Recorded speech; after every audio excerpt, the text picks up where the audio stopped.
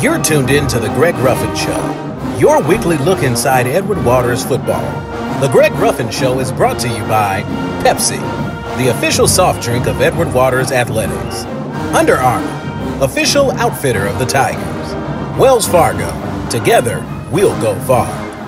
UF Health Jacksonville, proud sports medicine partner of Tiger Athletics, the City of Jacksonville, and Edward Waters College. To find out how you can become a Tiger, log on to www.ewc.edu. Now, along with head coach Greg Ruffin, here is the voice of the Tigers, Joshua Jackson. Tigers drop a heartbreaker for homecoming as they fall to the Gyrenes of Ave Maria by a final score of 41 to 14. Welcome to this week's edition of the Greg Ruffin Show, Coach. There's a festive, festive, festive atmosphere. It's a big game. The team knew what was on the line. Unfortunately, uh, just that snowball effect that tends to happen uh, for this young team, uh, especially those those those losses. Uh, really reared its ugly head on Saturday. You know, you just jump out 14 to nothing, and then just from there, just that snowball effect, and things just really went downhill from there.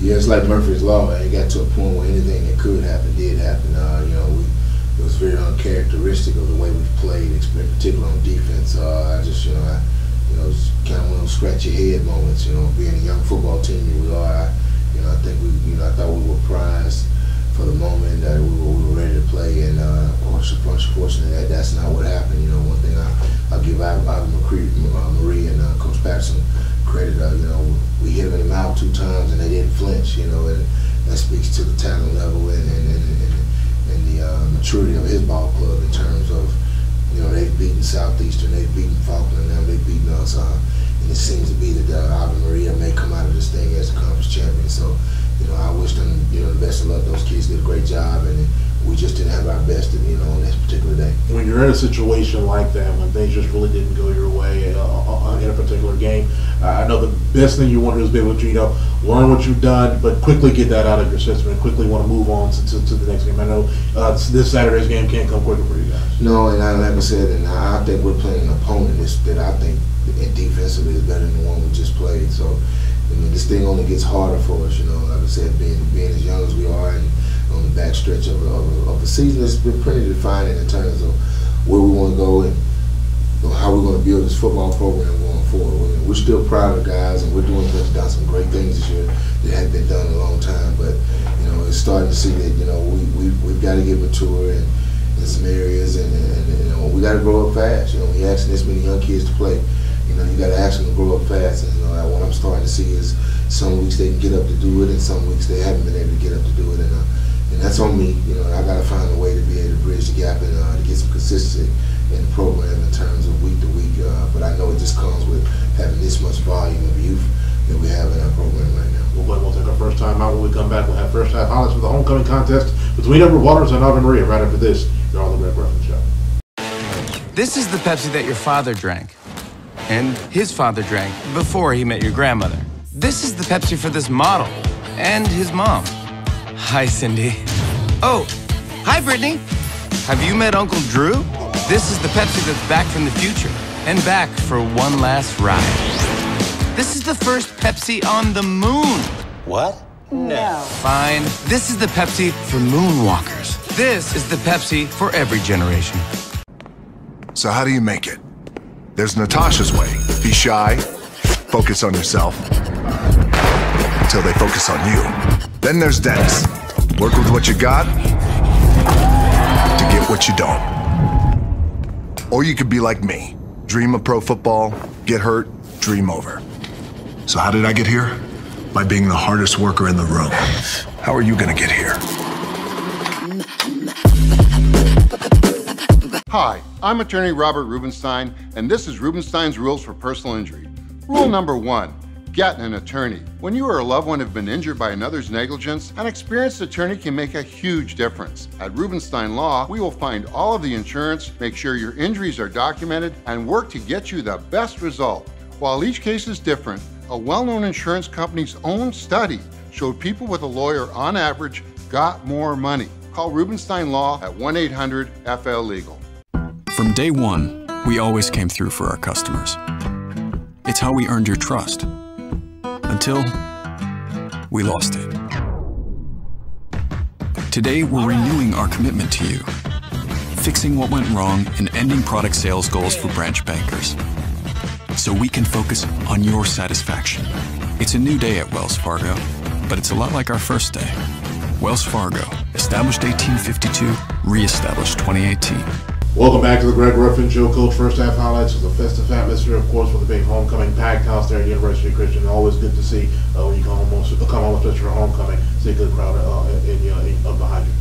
Yeah, I mean, we, were, we, we, we thought, you know, that, that, the turnout was great and there was a lot of enthusiasm swirling in the air. And uh, just one of those situations where, you know, we just didn't quite, you know, we didn't, we didn't, we came out and, you know, I thought, you know, after jumping on the way we did, you know, 14 to nothing. And I just thought, I said, know, hey, we on our way, but we've been there before. And it's kind of, we get up and, then, you know, it's no different than what happened, you know, with Faulkner. You know, no, having, no different than what happened, you know, against, uh, a point. No having you know, so you know, we've been consistent in what, who we are and what we are and how we've done it. So, so I mean, it's, it's pretty much you know we got to find a way to get over the hump, and when we jump on people, we got to find a way to come, come, you know, to keep uh, piling it on. And uh, but I, but I was I was very satisfied with with the turnout, the alumni, all those came by the office and, and spoke about it. Been keeping up with the program from near and, and, and, far, and I I can assure everybody that you know, hey, we're just getting started and We want you guys to continue supporting us, and, and uh, the best is yet to come here at Waters in terms of what we're trying to do in the gridiron.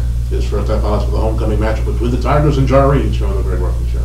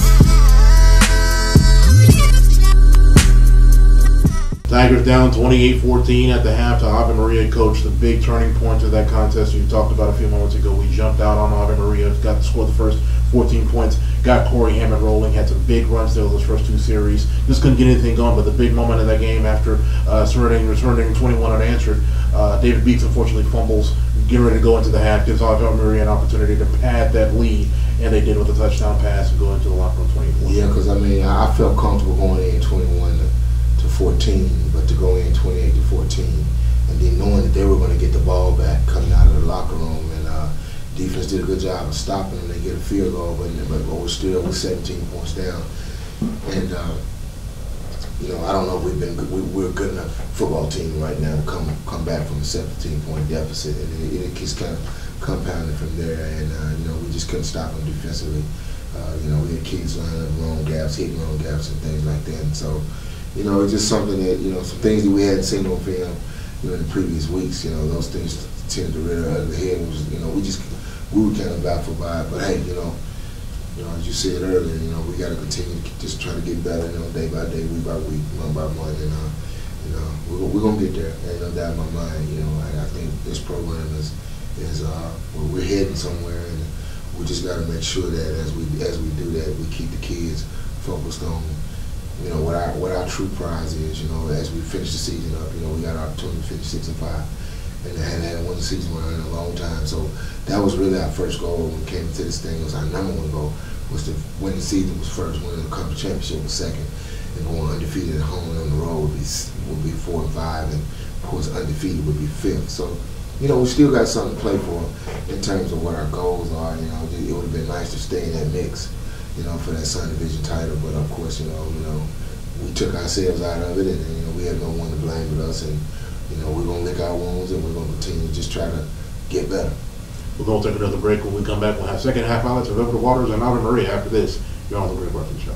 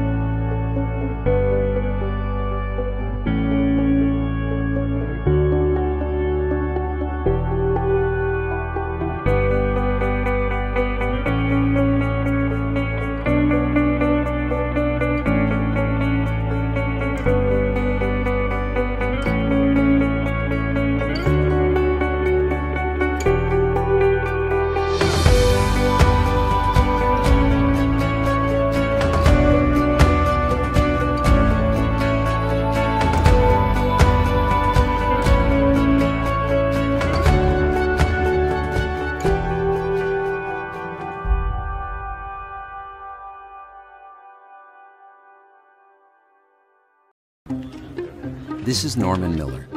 Last year, he had a heart attack and received two life saving stents. This is Dominic Angiolillo. At UF Health, his research predicts how patients will respond to medicines after surgery. Dominic is a big reason Norman's less likely to have another heart attack, even if he never knows it. And it's invisible connections like these that help us move medicine forward with every patient we serve. Here, every sunrise brings new possibilities. A chance to hold on to the moments a little tighter. To take a breath of fresh air. Explore the outdoors. Find joy in each other. And taste the memories. Jacksonville. It's easier here. Welcome back to the Greg Ruffin Show. Tigers down 28-14 at the half. Coach, you talked about the team coming out in that second half. They were able to get a stop of uh, of Ave Maria. They really had a hard time, you know, kind of corralling those those running backs there of Ave Maria, but they were able to come out defensively uh, in that first drive of the game. Uh, in the second half, able to get that uh, uh, stop. They were forced into a field goal and kind of keep yourself in, in, in, the football game. Yeah, it was good to get the stop. I mean, like I said, we been a little bit, but we didn't break. Uh, but you know, once again, we just you know, after that, we, we, we were able to get nothing going offensively. So as you know, we didn't help the defense out at all. You know, get them getting the stop and us putting them back out on the field as quick as we did. So you know, we like I said, we're in a situation where we we, we have to be able to be able to maintain some drives and get those guys some rest because they weren't having the best day, and uh, we didn't attribute to that. I mean, you look at time of possession, you know, we only had the ball 10 minutes and 54 seconds to hold football game, whereas we're used to dominating the time of possession. So I mean, I don't understand, but but uh, just got to do a better job. Well, we'll take a look at the second half highlights of Edward Waters and Ave Maria here on the Greg Ruffin Show.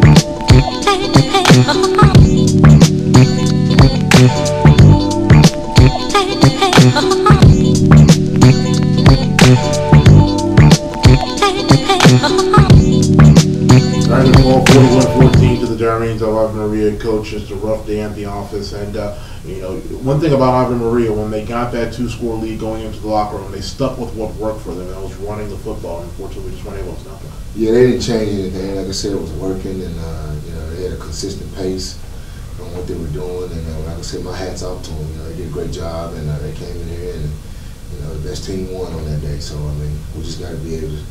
You know, like I said, we're gonna clean this thing up and uh, see what can go down Lakeland and spoil Southeastern's homecoming. I think it, you know they're so much of a formidable foe in terms of what they've been doing, and they've been a model of consistency in this conference, having won the championship probably the last three, four years in a row, and, and, and we, we're going to have to play our best. I mean, no doubt we can't go down there and play the way we played Saturday, and we can't play the way we played against Faulkner, in which we won. We got to limit our mistakes and uh, we got to play better on the back end in terms of secondary play this week. There weren't a lot of bright spots offensively. We saw some wide receivers have some uncharacteristic drops there, especially yeah. in the second half of that contest. But yeah. if there was one bright spot, it was the play of Corey Hammond with 14 carries and uh, 117 yards, after averaging 8.4 yards per carry. And had a couple of big chunk plays there in those first two drives of that first half. So uh, he's really, you know, continuing that successful uh, freshman campaign that he's had. Yeah, he's a tough guy. Like I said, as low as he is, you know, because he's narrow. know, Corey runs like he's 230 pounds, and we just, you know, he's a kid that this offseason we hope to get about another 10, 15 pounds on him if we can, and continue to pad his frame a little bit so he can continue to run the way he runs. Uh, I just think that, uh, you know, he's been consistent all year. You know, he's done some great things, had some good runs, and we've yet to get him in the end zone. So you know, that's one of the things that you know, with all the hard running he's done, he hasn't scored yet. So we got to get him in the end zone here.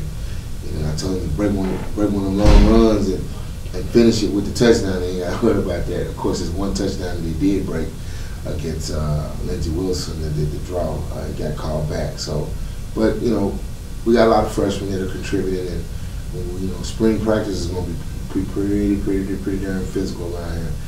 And we're gonna get better. We're gonna get after each other. And uh, I, I, tell you what, man, I'm, I'm, excited about this ball club going forward. And, uh, and I'm excited where we are in terms of our administration, where we're going. You know, the perspectives of us going to Division Two in the SIAC, and man, there's just so much positives going on here on Kings Road, and I'm, I'm, I'm glad to be a, be a part of it. Absolutely. We'll take another timeout. When we come back, we'll take a look at this Saturday's contest down in Lakeland against the Fire of Southeastern University. If you're watching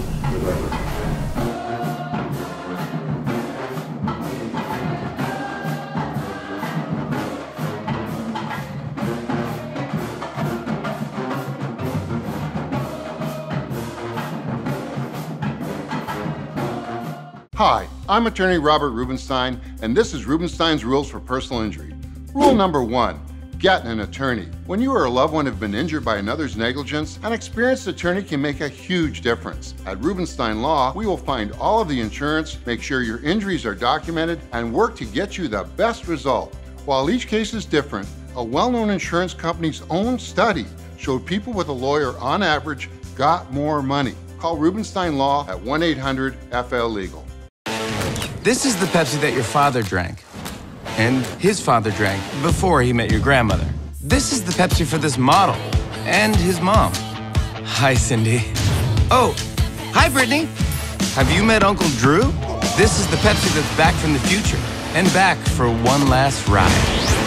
This is the first Pepsi on the moon. What? No. Fine. This is the Pepsi for moonwalkers. This is the Pepsi for every generation. Day one, we always came through for our customers. It's how we earned your trust. Until we lost it. Today, we're renewing our commitment to you, fixing what went wrong and ending product sales goals for branch bankers. So we can focus on your satisfaction. It's a new day at Wells Fargo, but it's a lot like our first day. Wells Fargo, established 1852, re-established 2018. Welcome back to the Greg Ruffin Show, Coach. We get to head back to Lakeland once again, back to Polk County, back to that great fan base we have down there.